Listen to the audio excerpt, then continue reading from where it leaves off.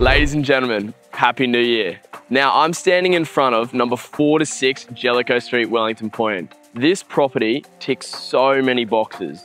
First of all, it's in the heart of Wellington Point, only a two minute walk up to the shops. Secondly, it's an 810 square metre block, which is already on two titles, meaning if you wanted to, you can knock the property over and build two new ones. Or if you wanted to live here in land bank, it ticks the boxes for that as well. This property is very livable and even comes with a pool. Let's go take a look.